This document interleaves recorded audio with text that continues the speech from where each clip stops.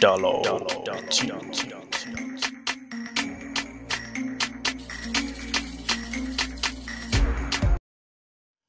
ሰላም ጤና ይስጥልኝ ውድ የዳሎቱ ቤተሰቦች እንዴት ናችሁ? ኤርማ ነኝ። እንግዲህ አዳዲስ የቻናላችን ተከታታዮች ቻናላችንን subscribe ማድረግ እንዳትረሱ፣ እንዲሁም የደውል ምልክቷን ተጫኑት። በየጊዜው የምንለቃቸውን መረጃዎች በፍጥነት ይደርሳችኋል ማለት ነው። እንግዲህ ዛሬ በጤና መረጃ ተከስቻለሁ ማለት ነው። የጤና መረጃውም እንግዲህ ለዲስክ መንሸራተት ወይንም ደግሞ ለጀርባ ህመም ሊያጋልጡን የሚችሉ የዕለት ተዕለት እንቅስቃሴያችን ውስጥ ያሉ ልማዶችን ይመለከታል።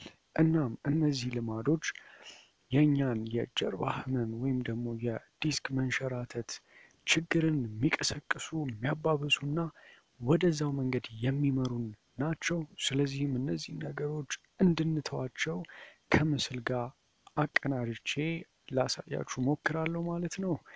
የትም እንዳትሄዱ አብራችሁኝ ቆዩ።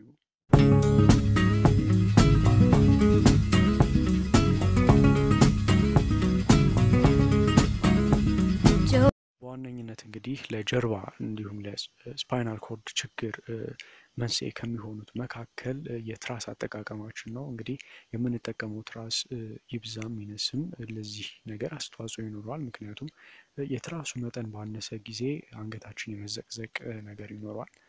እንዲሁም ደግሞ ትራሳችን ከፍ ባለም ጊዜ ደግሞ አንገታችንን የማጠፍ የማዞር ነገር ስላለው ጀርባችን ላይ ተጽዕኖ ያመጣል ማለት ነው። ይህን ከእንቅልፋችን በምንነቃበት ሰዓት ጀርባችን ማለትም ከዳሌያችን ትንሽ ከፍ ብሎ ያለው መጋጠሚያው ላይ የህመም ስሜት ይሰማናል ማለት ነው። ይሄም ነገር እየተደጋገመ ሲመጣ እኛ አስተኛኘታችንን የትራስ አጠቃቀማችንን እስካላስተካከልን ድረስ በቀጥታ ወደ ጀርባ ህመም ወይም ደግሞ ይሄ የዲስክ መንሸራተት ወደምንለው ሊያመራን ይችላል ማለት ነው። ስለዚህ የትራስ አጠቃቀማችን በማይጎረብጠን እንዲሁም ምቾት በሚሰጠን መልኩ ቢሆን የተመረጠ ይሆናል ማለት ነው።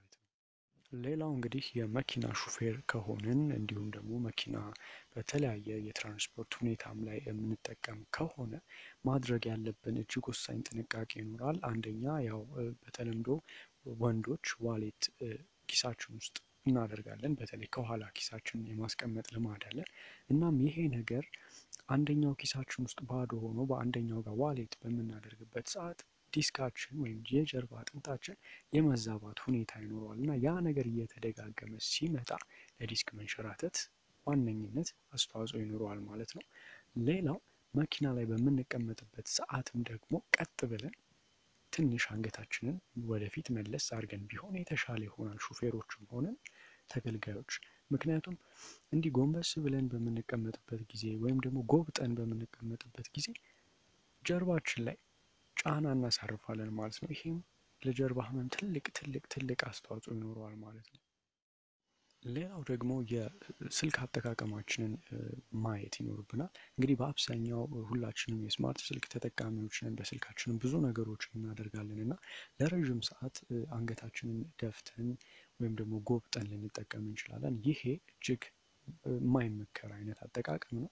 ስለዚህ በተቻለ መጠን ከአንገታችን ቀና ብለን ከደረታችን ነፋ ብለን ማለትም ቀጥ በማለት ስልካችንን መጠቀም እንችላለን ማለት ነው። ይሄም ቢሆን የተሻለ ይሆናል። አጎንብሰን በምንጠቀምበት ጊዜ ልክ ቅድም ስለ መኪናው እንዳልኳችሁ ሁሉ ጀርባችን ላይ ትልቅ የሆነ ተጽዕኖ ስለሚያሳርፍ ያ ነገር እየተደጋገመ ሲመጣ ጀርባችንን ይጎዳዋል ማለት ነው።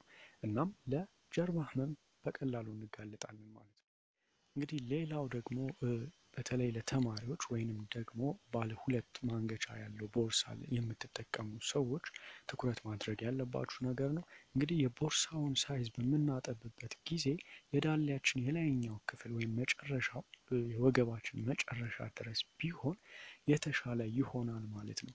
ይሄም ወገባችንን ደግፎ ስለሚይዝልን ለጀርባችን ጥሩ የሆነ ድጋፍና ስሜት ይፈጥርልናል ማለት ነው። ነገር ግን ከወገባችን አልፎ ጭናችን ድረስ የምናደርገው ከሆነ የበለጠ ጀርባችን ላይ ጫና ይፈጥራል ማለት ነው። በዚህም የተነሳ የጀርባ ህመም ይቀሰቅሳል ማለት ነው። ሌላው የላፕቶፕ እንዲሁም desktop ኮምፒውተሮችን በምንጠቀምበት ሰዓት በጣም ማጎንበስም በጣም መለጠጥም የለብንም። በመካከለኛ ሁኔታ ቀና ብለን መጠቀም መቻል ይኖርብናል። ይህም ለጀርባችን ጤንነት ወሳኝና ጠቃሚ መንገድ ነው ማለት ነው። ሌላው ደግሞ እቃን ከመሬት ላይ በምናነሳበት ጊዜ ጎንበስ ብሎ ከማንሳት ይልቅ ቁጢጥ ብሎ እቃውን ማንሳት የተሻለ ይሆናል።